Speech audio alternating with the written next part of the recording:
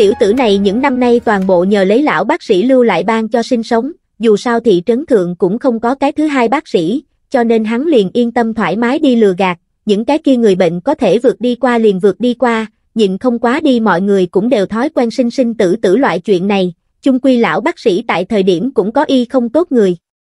Hơn nữa lão bác sĩ trước khi đi cho tiểu tử này lưu lại rất nhiều thảo dược, ghi rõ đối với cái gì bệnh trạng, hắn chỉ cần mặc che kê đơn thuốc là được.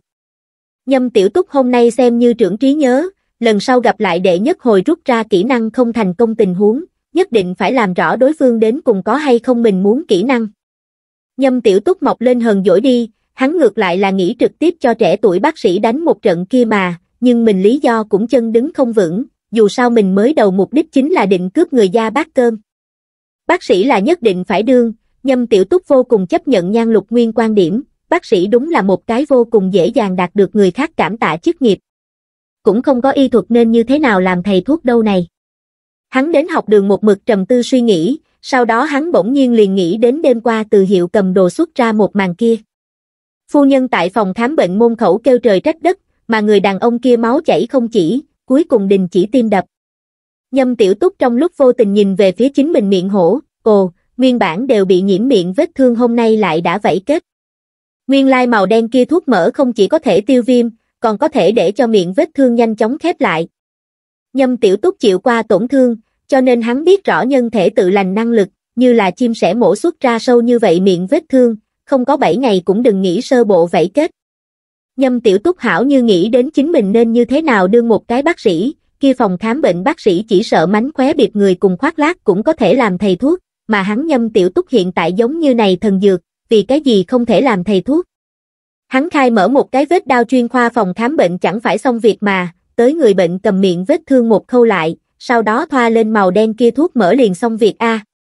Lấy trước kia lão bác sĩ vẫn còn ở thời điểm nói qua, hắn không làm loại này khâu lại giải phẫu là bởi vì hắn không có sát trùng điều kiện, những cái kia bệnh khuẩn lưu lại trong thân thể là có thể gây nên người tử vong, cho nên khâu lại cũng là bạch khâu lại. Lão bác sĩ cầm việc này nhìn rất rõ ràng.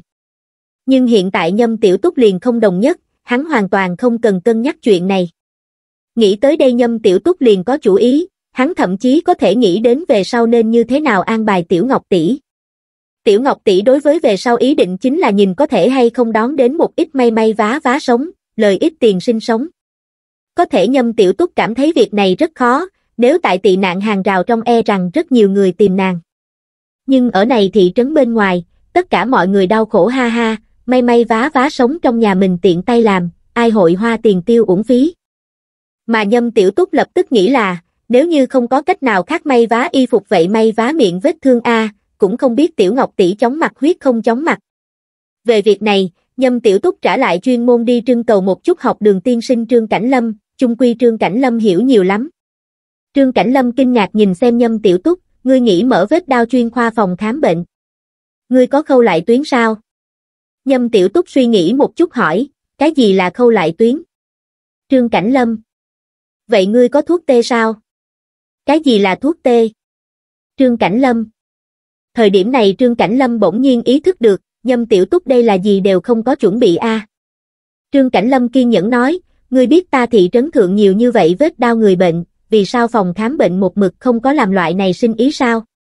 Không riêng gì bệnh cũng bị nhiễm vấn đề, hơn nữa còn có thuốc tê cùng khâu lại tuyến thiếu thốn, thứ này nghe nói tị nạn hàng rào trong đều rất thiếu. Trương Cảnh Lâm tiếp tục nói, đánh thuốc tê có đánh thuốc tê chú ý, đánh ít đau, đánh nhiều dễ dàng cấp nhân đánh ra di chứng.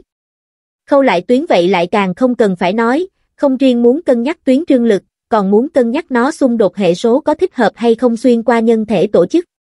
Áo, như vậy a, nhâm tiểu túc vung tay lên, này đều không là vấn đề, người đều phải chết đâu còn quản có đau hay không, ta liền dùng may y phục tuyến cho bọn hắn khâu lại. Vậy trừ độc đâu này? Trương Cảnh Lâm kinh ngạc hỏi. Ta có bí phương. Nhâm tiểu túc nói. Kỳ thật tựa như nhâm tiểu túc suy đoán như vậy, Trương Cảnh Lâm cũng không phải cái gì đều hiểu, hắn có chuyên tấn công học vấn, nhưng hắn cũng chính là thuộc về rõ ràng, trình độ. Cho nên Trương Cảnh Lâm hiện tại chợt phát hiện, chính mình lại không biết nên như thế nào phản bác nhâm tiểu túc, cuối cùng phất phất tay, coi trọng ngươi khóa đi thôi, hạ đoạn là sinh tồn khóa. Ngày hôm nay nhâm tiểu túc bởi vì là đệ nhất thiên nếm đến ngon ngọt, vì vậy quyết đoán lần nữa dậy quá giờ kéo dài tới bầu trời tối đen mới tan học. Lúc này, như cũ có đệ tử không có có ý thức đến chính mình muốn bắt đầu một loại như thế nào sinh hoạt. Lâm tan học thời điểm đệ tử đều đi ra ngoài đâu, nhâm tiểu túc vừa nhìn hôm nay lại không ai nói cảm ơn, hắn liền không nhịn được chủ động hỏi, không cùng các sư phụ nói lời cảm tạ sao. Kết quả các học sinh dọa khẽ run rẩy, nhanh chóng tập thể quay đầu lại nói tạ ơn sư phụ. Nhưng mà nhâm tiểu túc vô cùng tiếc nuối nội thị lấy chính mình trong cung điện, lại một cái cảm tạ tiền xu đều không có. Trương Cảnh Lâm lúc trước nói qua, đương giáo viên dạy học thời điểm không bị đệ tử lý giải cũng là rất bình thường sự tình, nhâm tiểu túc cảm giác mình trả lại gánh nặng đường xa A. Khuya về nhà thời điểm, trả lại cách thật xa nhâm tiểu túc liền thấy được nhà mình túc lều trong lóe lên quang, nhâm tiểu túc nhanh chóng vén rèm cửa lên tiến vào, rõ ràng thấy được tiểu ngọc tỷ ngồi tại bọn hắn nhà tan nát trên mặt ghế, đang cho hai huynh để bọn họ may vá quần áo nha. Bên cạnh trả lại để đó nấu xong cây ngô cháo cùng rau dại.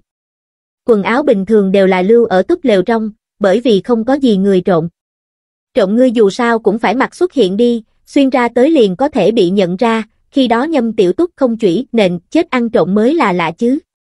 Tiểu Ngọc tỷ thấy được hai người bọn họ sau khi trở về cười nói, không có qua ngươi lưỡng đồng ý liền đi vào, các ngươi y phục đều phá, ta cho các ngươi khâu lại khâu lại, nhanh chóng ăn cơm đi thôi. Nhan Lục Nguyên đưa tay liền nghĩ đi đầu cháo, bữa cơm này tại thị trấn thượng đã có thể nói xa hoa, ngày bình thường bọn họ ăn đều là bánh mì đen hoặc là khoai tây kia mà. Kết quả Nhan Lục Nguyên đương trường bị Nhâm Tiểu Túc đập một chưởng, cảm ơn Tiểu Ngọc tỷ chưa? Nhan Lục Nguyên tại Nhâm Tiểu Túc trước mặt vẫn rất trung thực, cảm ơn Tiểu Ngọc tỷ. Tiểu Ngọc tỷ nhanh chóng nói, ngươi đừng lão đánh Lục Nguyên a. Ta có thể nuông chiều hắn, đi ra ngoài bên ngoài không ai có thể nuông chiều hắn, Nhâm Tiểu Túc giải thích, sau đó hắn chăm chú nói, cảm ơn Tiểu Ngọc tỷ. Không cần khách khí, Tiểu Ngọc tỷ cười nói, các ngươi bình thường cơm tối đều thích ăn cái gì? Nhan Lục Nguyên nói, chúng ta cơm tối cũng không ăn. Như vậy sao được, hai người đều đang phát triển đâu, Tiểu Ngọc tỷ nói. Không biết vì cái gì, Nhâm Tiểu Túc bỗng nhiên cảm giác Tiểu Ngọc tỷ dường như bản nên là như vậy bọn họ tỷ tỷ giống như. Trước kia, từ trước đến nay không ai cho bọn hắn nói qua bọn họ đang phát triển các loại. Tiểu Ngọc tỷ, Nhâm Tiểu Túc hỏi, ngươi may y phục tay nghề rất tốt a, chờ chúng ta vết đau phòng khám bệnh khai mở, ngươi tới giúp chúng ta a. Vết đau phòng khám bệnh. Tiểu Ngọc tỷ sửng sốt, như thế nào đột nhiên nhớ tới muốn khai đao tổn thương phòng khám bệnh a? Bởi vì ta có thảo dược bí phương trì vết đau a, có thể tiêu viêm, có thể cho miệng vết thương nhanh chóng khép lại, Nhâm Tiểu Túc nói xong liền lộ ra chính mình miệng hổ vết sẹo, Tiểu Ngọc tỷ nhìn lại phát hiện Nhâm Tiểu Túc miệng vết thương lại thực đã vẫy kết khép lại. Tiểu Ngọc tỷ suy nghĩ một chút nói, bất quá thị trấn thượng hiện tại ẩu đã muốn một chút nhiều, lấy một ngày trước đều mười mấy người bị thương, hiện tại vài ngày mới một cái. Xác thực như thế, từ bỏ nhâm tiểu túc giết người kia, còn có ngày hôm qua phòng khám bệnh môn khẩu hán tử kia, dường như thực không có gì ẩu đả. Nửa đêm bị người khác chạm vào trong nhà không tính, bởi vì loại tình huống đó bình thường sẽ không lưu lại người sống. Nhâm tiểu túc trầm tư, nếu không ta đi chém bọn họ. Nhan lục nguyên lúc ấy liền chấn kinh, ca ngươi cũng quá hung ác a, đây coi là gì, cây nhà lá vườn sao. Nhâm tiểu túc nói xong cũng nhanh chóng lắc đầu, không nên không nên, không thể làm chuyện loại này, không thể bị lợi ích choáng váng đầu óc. Nhâm tiểu túc tại đêm khuya vắng người thời điểm kiểm tra mình một chút thu hoạch, ngày hôm qua thời điểm tiểu ngọc tỷ cho mình một mai cảm tạ tệ, nhan lục nguyên cho một mai, hai cái học sinh hai mai, cho nên tổng cộng là thu hoạch bốn mai. Bất quá hắn dùng mất một mai, hiện giờ chỉ còn ba mai cảm tạ tệ, còn có một ít bình có thể sử dụng hai lần thuốc mỡ, nhâm tiểu túc quyết định đem cái này thuốc mỡ gọi là kêu hắc dược, đơn giản dễ nhớ.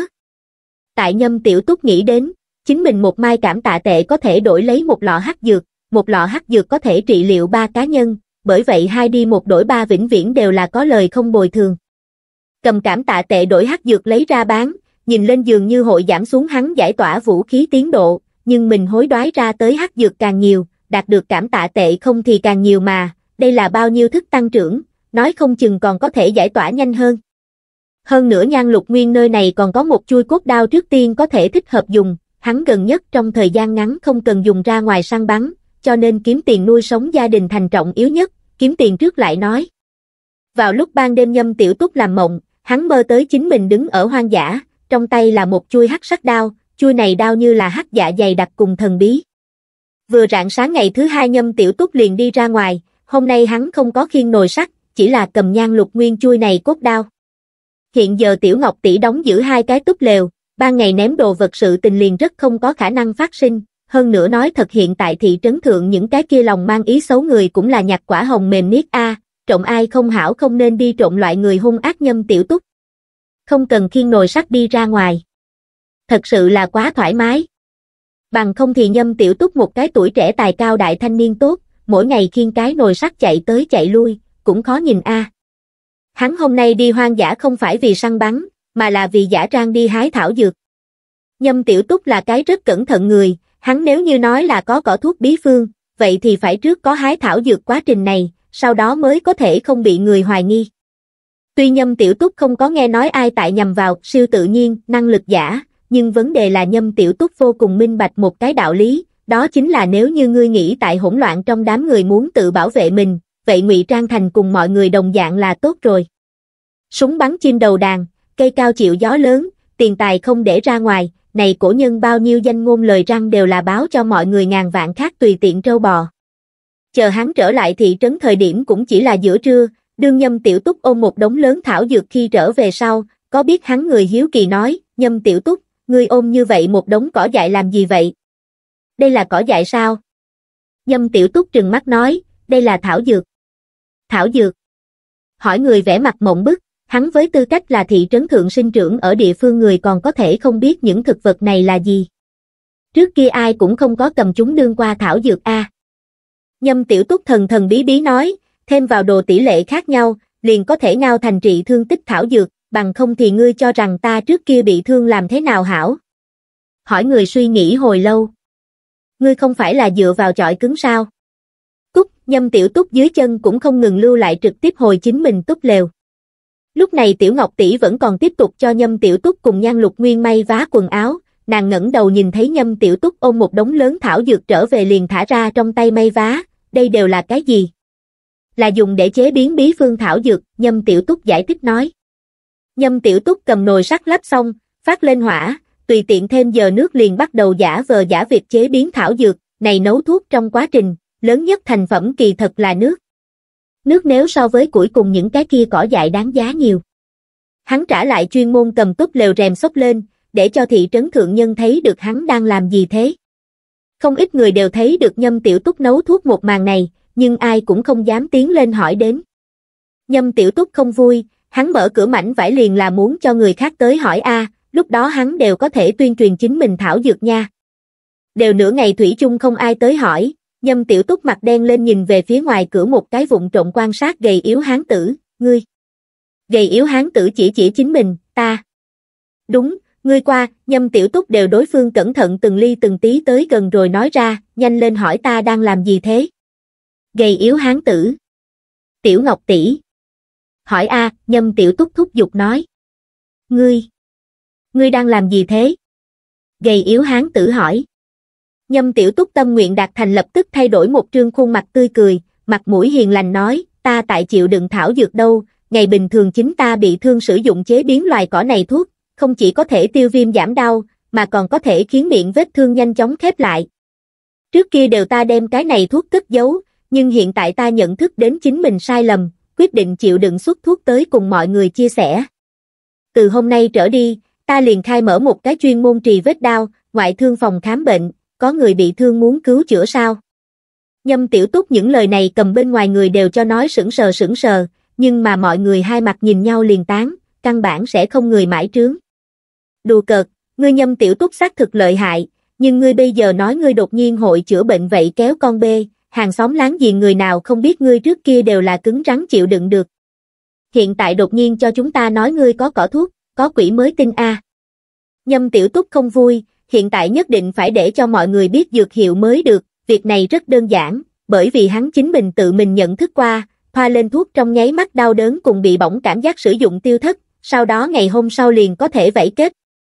Chỉ cần mình để cho mọi người biết có hiệu quả, chẳng phải có sinh ý sao. Nhâm tiểu túc mang theo bình thuốc nhỏ đi thị trấn thượng tự chút lấy phiền phức người đi, bệnh nhân đâu tối đa. Nhất định là phòng khám bệnh A.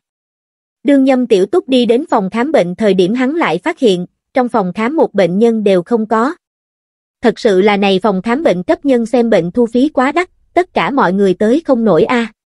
Nhâm tiểu túc trừng trẻ tuổi bác sĩ nhất nhãn xoay người rời đi, trẻ tuổi bác sĩ vốn đang thảnh thơi thảnh thơi uống trà đâu, bỗng nhiên bị nhâm tiểu túc trừng không biết vì cái gì liền có điểm sợ. Không có biện pháp, nhâm tiểu túc chỉ có thể ở thị trấn trong tùy cơ đi tìm, thẳng đến xế chiều từng cái nhà xưởng tan tầm, nhâm tiểu túc mới rốt cục trên đường thấy được một cái trên tay có quẹt làm bị thương gầy yếu hán tử. Nhâm tiểu túc vui mừng quá đổi, đại huynh đệ, làm việc thời điểm tay bị thương. Ta này có đặc hiệu thuốc, có cần phải tới điểm. Khi gầy yếu hán tử cảnh giác nhìn xem nhâm tiểu túc, cảm giác, cảm thấy nhâm tiểu túc ngữ khí không quá đứng đắn, không cần. Tới điểm tới, nhâm tiểu túc tiến lên trực tiếp một bả liền đè lại người đàn ông kia, nhâm tiểu túc vì tuyên truyền chính mình hắc dược quả thật buông xuống chính mình cuối cùng nguyên tắc, cho ngươi tiện nghi một chút. Nhưng mà đối phương còn là không nguyện ý, chung quy nhâm tiểu túc trên tay này đen xì đồ vật nhìn lên liền có vấn đề a. Nhâm tiểu túc khẽ cắn môi, cho là làm tuyên truyền, lần này trị bệnh cho ngươi miễn phí. Được được được, ngươi trước tiên đem đao lấy ra. Nhâm tiểu túc xuất ra tự chuốt lấy phiền phức hiệu, là dẫn theo cốt đao xuất ra. Ca, Nhan Lục Nguyên hỏi Nhâm tiểu túc, ngươi buổi chiều thực cấp nhân miễn phí trị liệu. Đây còn là ngươi sao? Đừng hỏi, hỏi liền tự sát, Nhâm tiểu túc vô cùng đau đớn. Nói thật hắn cũng là rất muốn cầm hắc dược cho chào hàng ra ngoài, đây chính là hắn hiện tại lợi nhuận người khác cảm tạ lớn nhất dựa vào, hơn nữa cái đồ chơi này cũng là hắn tương lai trong một đoạn thời gian, kiếm tiền kế hoạch hạch tâm. Cho nên nhâm tiểu túc chỉ có thể tự an ủi mình vạn sự khởi đầu nan, thành đại sự người không câu nệ tiểu tiết, làm người muốn đại khí. Nhâm tiểu túc không là đơn thuần keo kiệt, hắn biết rõ chính mình vào giờ nào phải làm cái gì, chính là đau lòng a. Tiểu Ngọc tỷ cười an ủi, yên tâm đi, nhất định có thể thành công. Nói xong Tiểu Ngọc tỷ trở về chính mình túc lều ngủ đi, trước kia nàng buổi tối ngủ được một chút cũng không an lòng, hiện giờ ở qua tới mỗi ngày đều giỏi ngủ rất an tâm. Sáng sớm hôm sau, tị nạn hàng rào trong tiếng chuông bỗng nhiên gõ vang, tự hồ đang nhắc nhở tất cả mọi người nên đi nhà máy trong làm việc giống như. Nhâm tiểu túc đi đánh hôm nay hạn ngạch nước trở về, lòng hắn nghĩ hắc dược bôi xong sau vậy kết hẳn là 12 tiếng đồng hồ, cho nên hắn cũng không vội mà nhìn thị trấn thượng những người khác có phản ứng gì. Đều đến mọi người biết thuốc này thực có tác dụng, dĩ nhiên là có người đến cửa. Nhưng mà để cho nhâm tiểu túc không nghĩ tới là, hắn mang theo thùng nước khi trở về sau, Vương Phú Quý đã cười ha hả chờ ở túc lều môn khẩu. Lão Vương, ngươi sớm như vậy qua tới làm chi, ta gần nhất cũng không ra ngoài bắt bớ chim sẻ, nhâm tiểu túc cầm nước phóng tới trên mặt đất, sau đó chậm rì rì nói, hắn trả lại hướng bên trong nhìn nhất nhãn, nhan lục nguyên này đứa bé lanh lợi đang dơ cốt đao cảnh giác lão Vương đâu, thấy nhâm tiểu túc trở về mới đem cốt đao buông xuống. Vương Phú Quý nhìn thấy nhâm tiểu túc thời điểm hai mắt tỏa ánh sáng, ai ôi. Tiểu túc a, ngươi có thể trở về. Ta này sáng sớm bỏ chạy đến tìm ngươi. Làm gì vậy? Nhâm tiểu túc cảm thấy không đúng, chuyện gì có thể khiến lão vương cao hứng thành như vậy? Hắn tỉ mỉ đánh giá lão vương, ngươi không phải là uống ở rượu giả a? Vương Phú Quý sắc mặt nhất thời đạp kéo xuống, uống gì uống, hiện tại cấm tửu đâu ngươi không biết sao, người cũng còn ăn không đủ no đâu ai dám uống rượu. Ta lần trước nghe thấy được trên người của ngươi.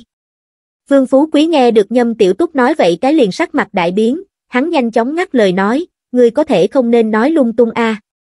Được được được, không nói, tìm ta có chuyện gì? Nhâm tiểu túc nói. Ngày hôm qua ngươi có phải hay không cho thị trấn đầu đông cái kia thiết đầu trị thương? Vương Phú Quý nháy mắt ra hiệu nói. Áo, hắn gọi thiết đầu A. Đầu hắn cũng không thiết A, tại sao gọi cái danh tự, nhâm tiểu túc buồn bực nói. Ngươi đừng đánh với ta xóa A, Vương Phú Quý hỏi, ngươi đã nói có hay không A? Có. Nhâm tiểu túc nội tâm đã bắt đầu nổi lên vui sướng, Vương Phú Quý loại này vô sự không lên điện tam bảo tuyển thủ tìm đến mình, nhất định là hắc dược hiệu quả hấp dẫn hắn, để cho hắn nhìn thấy lợi ích, bằng không thì làm sao có thể đối với chính mình như vậy ân cần. Cho nên cái này chứng minh, chính mình hắc dược thị trường muốn đánh khai mở. Vương Phú Quý nghe được nhâm tiểu túc thừa nhận liền vui mừng nhướng mày, vậy thuốc. Còn gì nữa không? Ngươi có thể trực tiếp thả ta chỗ này, ta giúp ngươi bán A. Ngươi giúp ta bán. Không được, nhâm tiểu túc lắc đầu, không thể có trung gian thương lượng lợi nhuận trên lệch giá. Nói thị trấn lại lớn như vậy, chính ta bán không tốt sao, ta cũng muốn phá giá hơn 100 cái tị nạn hàng rào, cho dù ta thật sự có lớn như vậy sinh ý, ngươi cũng tiếp không được a. Vương Phú Quý nghe Nhâm Tiểu Túc nói như vậy cũng là sững sờ, đúng vậy a, thị trấn lại lớn như vậy, Nhâm Tiểu Túc tội gì để cho hắn đại bán nha. Bất quá Vương Phú Quý còn nói thêm, vậy ngươi bán ta điểm cũng được. Ồ! Nhâm Tiểu Túc đánh giá Vương Phú Quý, ngươi cũng không có tổn thương a, muốn cái đồ chơi này làm gì vậy? Vương Phú Quý cười hắc hắc thần bí nói, việc này ngươi đều còn không biết a. Ngày hôm qua tiếp đầu sau khi về nhà càng nghĩ càng không đúng lực, hắn muốn biết ngươi cho hắn bôi rốt cuộc là cái gì a, vì vậy trước hết nghe, cũng nghe thấy không được. Về sau hắn liền dứt khoát nhẹ nhàng thè lưỡi ra liếm một chút nếm thử mùi gì, nhìn xem là thuốc gì vật liệu, kết quả ngươi đoán dù thế nào. Nhâm tiểu túc đều mê, này đều cái gì thói quen a, trả lại liếm liếm nếm vị. Hắc dược hiệu quả đương nhiên không cần phải nói, kia thiết đầu vào lúc ban đêm quan sát miệng vết thương liền biết nhâm tiểu túc không có lừa gạt hắn, đây đúng là hảo dược, lòng hiếu kỳ dược dây phía dưới liền muốn biết cỏ này thuốc rốt cuộc là cái gì cách điều chế. Vương Phú Quý tiếp tục nói, kết quả A, hắn vào lúc ban đêm đem hắn kia bà nương giày vò đến buổi sáng hôm nay. Ngươi thuốc này cũng quá lợi hại A. Nhâm tiểu túc lúc ấy liền chấn kinh. Bên trong lều nhan lục nguyên lúc ấy cũng chấn kinh. Nhâm tiểu túc lúc trước nghĩ tới này hắc dược có thể hay không uống thuốc A. Uống thuốc có thể hay không cũng có tác dụng cái gì. Hắn cảm thấy có lẽ là có thể uống thuốc, bất quá hắn chính mình không dám thử. Mà bây giờ lại phát hiện, uống thuốc dĩ nhiên là loại tác dụng này. Thần đặc biệt sao dày vò đến buổi sáng, đây rốt cuộc là cái gì thuốc A? Nhâm tiểu túc có phần dở khóc dở cười, vậy ngươi mua thuốc làm gì vậy A? Hắn hỏi cái này là có nguyên nhân, bởi vì hắn biết vương phú quý lão bà mấy năm trước liền bởi vì bệnh qua đời, cho nên thuốc này hắn cũng không cần phải A. Vương phú quý không vui, ai vẫn không thể có cái đệ nhị xuân cái gì. Chính là thân thể có phần bị không ngừng. Ơ. tìm đến nhà dưới. Nhâm tiểu túc vui tươi hớn hở cười nói. Trả lại không có đâu, lão vương nói, nhưng ta suy nghĩ, ai cũng không thể gả cho một cái không còn dùng được nam nhân A, cho nên ta liền nghĩ chuẩn bị lấy ngươi cái kia thuốc. Nhâm tiểu túc vui cười, được A vương phú quý, càng già càng dẻo dai. Muốn tìm cái dạng gì lão bà? Vương phú quý khiêm tốn nói, có thể để ý ta là được. Nhâm tiểu túc trầm tư. Ngươi yêu cầu này phải thấp A. Vương phú quý. Cùng với lưỡng đâu, vương phú quý mặt đen lên nói, ta dù gì cũng là chúng ta thị trấn thượng có tiền nhất người nhất A, bằng gì người khác chướng mắt ta. Ai, nhâm tiểu túc có phần phiền muộn, chúng ta thị trấn thượng có tiền nhất người nhất, dĩ nhiên là cái khai mở tiệm tạp hóa, nghe liền có điểm dập đầu sầm. Tại đây tiền đồ ai đó, ít nói nhảm, bán hay không a? Bán. Nhâm tiểu túc suy nghĩ một chút nói, người quen giá, 600. Ngươi tại sao không đi đoạt? Vương Phú quý gấp. Nhâm tiểu túc hiện trong tay hắc dược còn thừa lại một lần trị thương lượng, bất quá ấn lão vương theo như lời thè lưỡi ra liếm một lần liền có thể lên hiệu quả, cái này còn lại lượng có thể đủ thè lưỡi ra liếm nhiều lần đâu a. Bất quá cái đồ chơi này uống thuốc tác dụng cũng không phải nhu yếu phẩm, cho nên cũng không thể bán quá thái quá. Ngươi có mua hay không? Nhâm tiểu túc viết lấy Vương Phú Quý nói. Mua. Vương Phú Quý nói xong cũng điểm 600 khối tiền cho Nhâm tiểu túc, giá cũng không có chém. Nhâm tiểu túc tuyệt đối không nghĩ tới, chính mình hắc dược dĩ nhiên là đánh như vậy chi tiêu đường. Hắn cũng tuyệt đối không nghĩ tới, hắn vốn là ý định làm thầy thuốc hành y tế thế, kết quả lại thành trưởng thành đồ dùng nhà cung cấp hàng. Vương Phú Quý đột nhiên quay đầu hướng Nhâm Tiểu Túc nói, việc này tạ a. Đến từ Vương Phú Quý cảm tạ, một. Nhâm Tiểu Túc. Cảm tạ tệ số lượng rốt cục tới trở lại bốn mai, tuy này cảm tạ tệ có tới phương thức, cùng Nhâm Tiểu Túc tưởng tượng có phần không đồng nhất. Ca, kỳ thật như vậy cũng không tệ a, Nhan Lục Nguyên cười nói, mặc kệ công hiệu gì, dù sao kiếm tiền a. Nhâm Tiểu Túc không vui, hắn hạ giọng nói, đây là kiếm tiền sự tình sao? lúc này mới có thể thu hoạch mấy lần thành tâm cảm tạ. Việc này nhâm tiểu túc nghĩ rất rõ ràng, dựa vào loại này công hiệu đi mua thuốc, thu hoạch thành tâm cảm tạ tỷ lệ xa nếu so với trị bệnh cứu người thấp nhiều, cũng chính là lão vương loại này khát vọng gặp Xuân Khô một tuyển thủ mới có thể nói một tiếng cảm tạ. Huống hồ hắn mục đích chính là vì kiếm tiền sao? Không, hắn còn cần cảm tạ a, không có cảm tạ cũng lại không có hắc dược. Nhâm tiểu túc hàm chứa vẫn nộ nói, ta muốn là trị bệnh cứu người, thị trấn thượng nhân thấy ta phải khách khí, ngươi xem cái kia trong phòng khám tiểu tử trì chết bao nhiêu người, không như cũ không ai làm gì hắn. Vì cái gì? bởi vì hắn là thị trấn thượng duy nhất bác sĩ. Ca ngươi nói đúng, Nhan Lục Nguyên biết vân lời phụ họa nói, kỳ thật hắn ngược lại là không quan trọng, dù sao hắn biết. Bọn họ liền phải từ từ bắt đầu giàu có lên. Hơn nữa trọng yếu nhất là, Nhâm Tiểu Túc nói, ta muốn là trị bệnh cứu người, nhân gia thấy sẽ gọi ta là bác sĩ, nếu như không trị bệnh cứu người đâu, nhân gia sau lưng xưng hô ta cái gì? Quy, cái kia bán thuốc. Nghe rõ ràng địa vị xã hội liền không quá đồng dạng hảo ba. Nhan lục nguyên rốt cục tới kéo căng không ngừng, hắn tại túp lều trong cười ngửa tới ngửa lui, ca ngươi nội tâm hí còn rất nhiều. Nhưng mà nhâm tiểu túc không biết là, hắn bán cho lão vương thuốc, lão vương cũng không có mình dùng, chung quy lão vương hiện tại cũng xác thực không tìm được nhân tình. Trang hắc dược cái chai cũng không có cái gì kỳ lạ, chính là thị trấn thượng phổ thông bình sứ nhỏ, nguyên bản chuyên chở hắc dược cái chai là thủy tinh, công nghệ trình độ rất cao, nhâm tiểu túc lo lắng cái đồ chơi này lại bị người hoài nghi thế nào, chung quy thị trấn thượng không có bán loại này cái chai người. Bình sứ nhỏ từ vương phú quý trong tay chuyển giao cho thị trấn thượng người quản lý, cũng chính là từ tị nạn hàng rào trong xuất ra mấy người kia. Lão vương trong lòng tự nhủ nhâm tiểu túc không hiểu vật này giá trị, hắn lại là hiểu. Chỗ nào cần có nhất hắc dược khẩu phục công năng? Là thị trấn trong các hán tử sao? Không phải. Thị trấn thượng các hán tử tuy chỉ có thể miễn cưỡng ấm no, có ít người gầy teo, nhưng vấn đề là mọi người mỗi ngày đều tại lao động, cứ việc gầy, thân thể lại hảo vô cùng. Chỉ cần nhiều vận động, bảo trì thân thể thay thế kỹ năng cùng khí quan cơ năng, đều là rất nhẹ nhàng sự tình, cho nên các hán tử cũng không quá cần cái đồ chơi này. Cần có nhất cái đồ chơi này người, kỳ thật là tị nạn hàng rào trong kia chút quý nhân ta. Vương Phú Quý tặc mi thử nhãn, lén lút thậm thục, cầm hắc dược giao cho tị nạn hàng rào phái tới quản lý người, người quản lý là biết hàng, bọn họ mỗi ngày làm việc chính là thấy rõ thị trấn thượng dị động, cho nên đêm qua thiết đầu thè lưỡi ra liếm thuốc sự tình hắn cũng biết. Nhưng mà người quản lý cũng không có sử dụng, lại tại buổi tối sau khi trở về lần nữa tặng đưa cho hắn thủ trưởng. Cuối cùng nho nhỏ này hắc dược bình sứ, đúng là không biết đến cùng đi chỗ nào. Nhâm tiểu túc đối với cái này hoàn toàn không biết gì cả, hắn chỉ là lần nữa dùng một mai cảm tạ tệ hối đoái ra tới một lọ hắc dược, sau đó để cho Tiểu Ngọc tỷ đi thị trấn thượng kéo một khối bạch vải bố, sau đó dùng hắc tuyến ở phía trên theo phòng khám bệnh, hai cái chữ to, sau đó lại đăng phòng khám bệnh phía dưới theo chuyên trị vết đau, thầy thuốc nhân tâm, tám cái chữ nhỏ. Phòng khám bệnh cứ như vậy khai mở lên. Theo thời điểm Tiểu Ngọc tỷ hỏi Nhâm Tiểu Túc có muốn hay không theo diệu thủ hồi xuân, bốn chữ này, Nhâm Tiểu Túc nhanh chóng chối bỏ, hắn hiện tại đối với xuân chữ có phần mẫn cảm. Nhâm Tiểu Túc sinh hoạt dần dần tiến nhập quỹ đạo, buổi sáng ra ngoài hái thuốc, ban ngày tại nhà mình túc lều ngồi xem bệnh, buổi tối đi giáo sinh tồn khóa, sau đó lại cầm lấy nhan lục nguyên bút ký học bổ túc bài học. Mặc dù mình này phòng khám bệnh cũng không có sinh ý, nhưng vấn đề là ngươi không thể không ngồi ở đây a, vạn nhất tới bệnh nhân, tiểu ngọc tỷ một người lại xử lý không.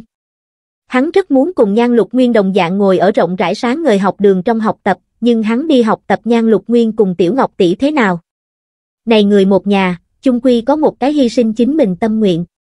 Ngày hôm sau nhâm tiểu túc ngồi ở vén rèm cửa lên túp lều trong nhắm mắt dưỡng thần, tiểu ngọc tỷ ngay tại phía sau hắn may may vá vá, tiểu ngọc tỷ có đôi khi trả lại cảm khái, này hai huynh đệ trước kia trên quần áo phá động chân là một lần cũng không có đền bù a, như thế nào góp nhặt nhiều như vậy. Liền vào lúc này có người nhanh chóng từ đường đất bên kia chạy tới, hắn một cánh tay đang đang chảy máu. Nhâm tiểu túc nhãn tình sáng lên, ngươi thương thế kia không trị có thể sẽ chết a. Nhưng mà người kia căn bản không thấy nhâm tiểu túc, lúc này mọi người trong vô thức, trị thương lại muốn đi phòng khám bệnh, chỗ đó càng quyền uy a, hơn nữa mọi người đối với nhâm tiểu túc ấn tượng, cái kia bán thuốc, lại muốn quá nhiều, có thể trì vết đau. Lúc này, đã lâu cung điện thanh âm trong đầu vang lên, nhiệm vụ, cứu chữa một danh người bệnh. Nhâm tiểu túc đứng dậy phiền muộn nói, xin lỗi, Nói xong Tiểu Ngọc Tỷ liền thấy được Nhâm Tiểu Túc chạy ra đi, còn chưa tới một phút đồng hồ, lại thấy Nhâm Tiểu Túc khiên hán tử kia ngoặt trở về.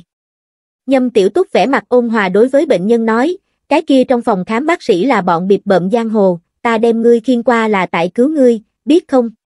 Người đàn ông kia không chút máu hơn nửa ngày trên người cũng không có khí lực gì, bị Nhâm Tiểu Túc án lấy thiếu chút liền tan vỡ. Thời điểm này đường đất đối diện lại chạy tới hai cái hán tử, trên người đều mang theo huyết, Nhâm tiểu túc sững sờ một chút, các ngươi đây là kéo bè kéo lũ đánh nhau a à? Bị án lấy hán tử nghe nói như thế giải thích nói, không đúng, là trong xưởng nồi hơi tạc. Chúng ta đây coi là tổn thương nhẹ, còn có thể chính mình chạy về, có ít người đương trường chỉ sợ cũng không được. Nhâm tiểu túc trầm mặt gật gật đầu, đầu năm nay trong nhà xưng bị thương cũng sẽ không có người hảo tâm dẫn ngươi đi trị thương, bọn họ nghĩ là ngươi chết, ngươi đồ vật đã có thể về ta. Tới, tiểu ngọc tỷ ngươi trước tiên đem châm tiêu cái độc, nhâm tiểu túc nói, tuy hắn không cần lo lắng nhiễm trùng vấn đề, có dù sao cũng phải làm dáng một chút cho bệnh nhân xem đi.